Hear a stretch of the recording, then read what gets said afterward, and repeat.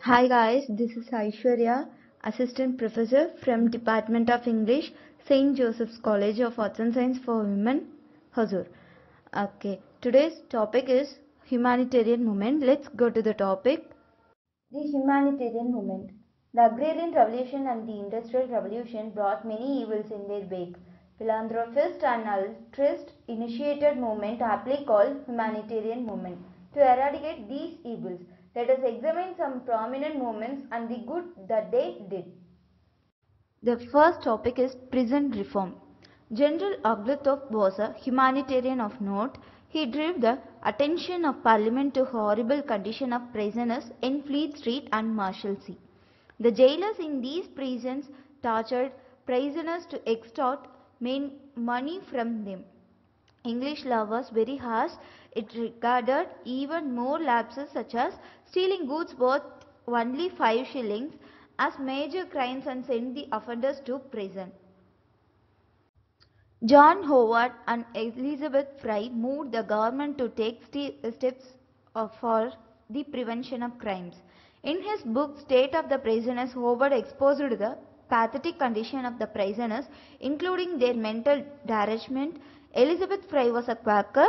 She highlighted the misery of women prisoners. In 1829, Robert Peel introduced extensive police machinery to maintain law and order.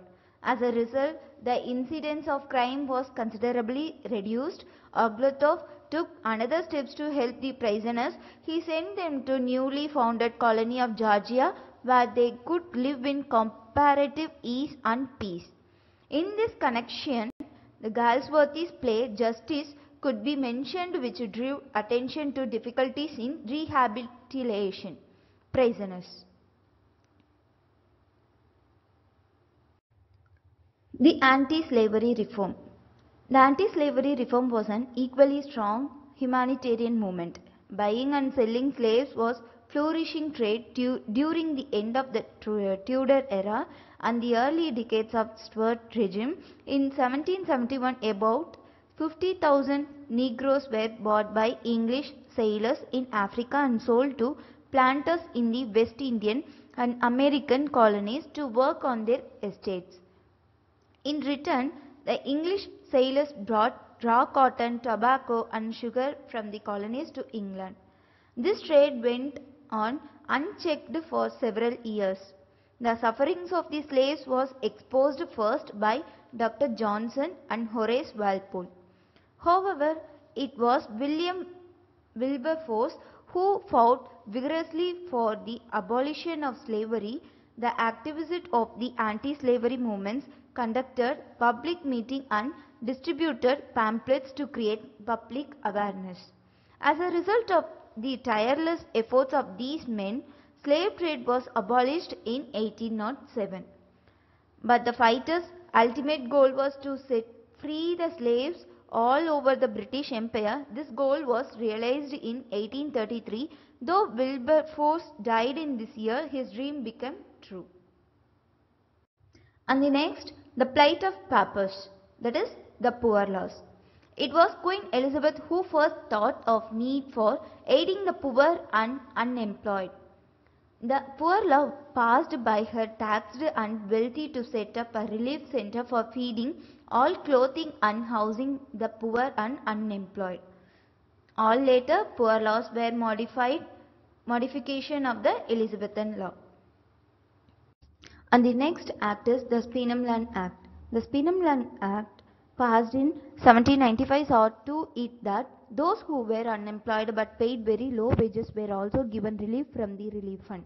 This act had harmful side effects. The employer deliberately paid very low wages because the laborers who were paid low were taken care of in relief centers. A commission of inquiry was set up in 1833 to study how to remedy the defects of the Poor Laws. On the basis of the recommendation of commission, the Poor Laws Amendment Act was passed in 1835. According to this act, the person receiving relief should not be better off than the person outside the relief center. The relief centers in each district were supervised by boards of guardians. But these boards also become corrupt in course of time. The another commission was set up in 1905. It did a lot of useful work. It found out that primary causes of poverty were drunkenness, disease, thriftlessness, ill-suited marriages and casual labor. The commission stressed the need for checking the causes of poverty as the only meaningful solution to the problem of pauperism. Pauperism means poverty.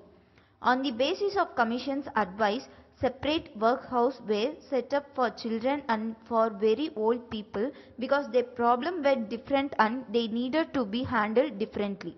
To reduce unemployment, the Commission recommended forming the Labour Exchange and State Insurance Scheme. And the next is the drive against drunkenness. The people were aware that drunkenness was the root cause of poverty. So the humanitarian like Hogarth and George Cruikshank addressed this problem in all seriousness.